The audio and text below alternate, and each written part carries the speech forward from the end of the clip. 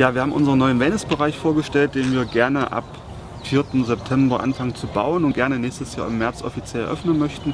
Da geht es um eine Panoramasauna mit Seeblick, eine Biosauna mit seitlichem Seeblick und das Thema Boote und Saale vereinen in dieser Biosauna. Es geht um ein Dampfbad, eine Infrarotkabine, einen 17 liege Ruheraum und dazu noch zwei schöne Behandlungsräume für Kosmetik und Massagen. Wir nehmen das Thema Salz mit auf in den ganzen Bereich, weil unser Wellnessbereich heißt auch Salzkristall. Wir sind ja hier im Salzlandkreis, wo die größten Salzreserven Europas liegen. Und das haben wir uns einfach zum Thema gemacht. Es wird eine Salzwand geben in der Aufgusssauna mit dem Seeblick, wird es eine schöne große Salzwand geben. Dazu natürlich auch Salzgetränk bzw. Salzessen im Angebot mit Salzkrustenbraten als Beispiel für unsere Halbpensionsgäste. Aber auch in den Behandlungen sollte natürlich sich das Salz widerspiegeln und auch in den Ruheraum wird sich das Salz widerspiegeln, indem wir es einfach mit verarbeiten als Dekoration oder als Optik und auch zum Inhalieren soll es möglich sein. Auch im Dampfbad wird es extra ein Sohle-Dampfbad mitgeben.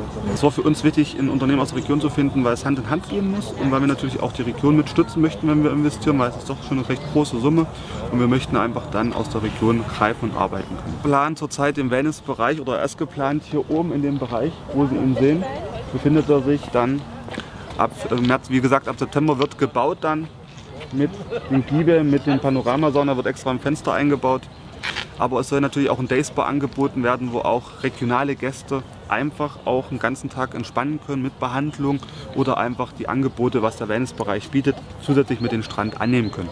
Das Restaurant hat nur zwei Wochen zu, das ist da, wo wir die Elektroarbeiten umbauen. Für unsere Hotelgäste betrifft das in der Hinsicht keinem, weil wir einfach dann in unseren Saal vier Jahreszeiten das Frühstück anbieten.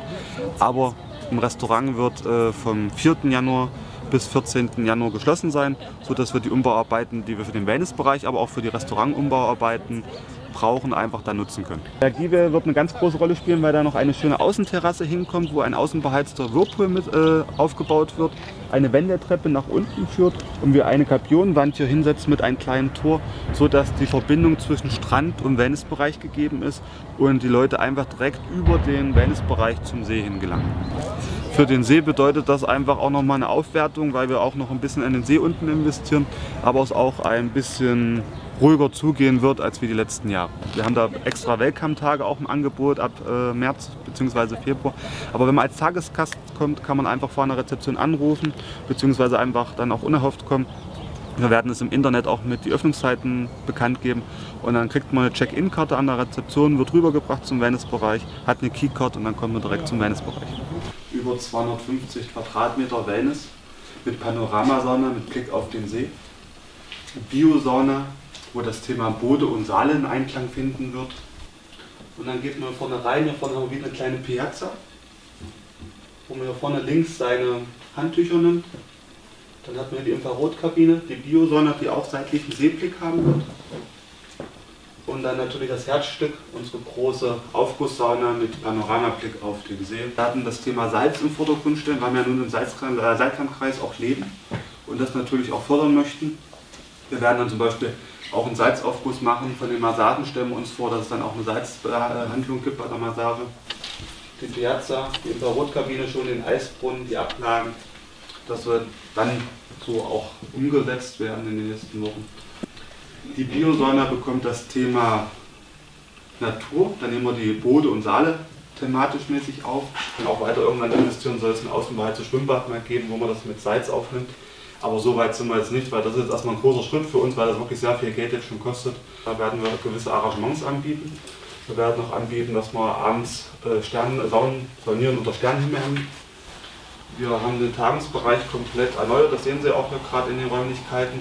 Da haben wir in den letzten Monaten auch nochmal sehr viel Geld investiert. Jetzt auch ab dieses Jahr neue Freizeitaktivitäten mit anbieten. Wir haben ab, dies, ab nächstes Jahr Segways im Angebot mit, Elektrofahrräder. Kanufahrten sind auch wieder möglich von der Saale aus oder von der Bode. Das können die Kunden gerne selbst mitbestimmen.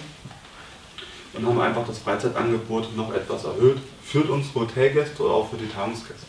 Dort an der Saale, ob aktiv die schöne Seenlandschaft entdecken, eine Fahrradtour durch Saaletal genießen, den Schläger auf der Golfanlage schwingen oder im Wellnessbereich mit Sauna die Seele baumeln lassen. Das AK Med Resort bietet Ihnen viele Möglichkeiten. Kurzurlaub mit der Familie, Wellness-Trip mit den Mädels oder zu zweit verliebt ins Wochenende.